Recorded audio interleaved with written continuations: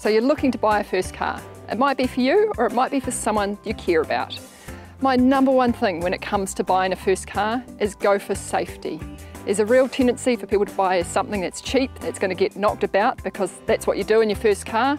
But when you're a new driver, you're most likely to have accidents and to have those knocks and scrapes, so you want to be in as safe a vehicle as possible.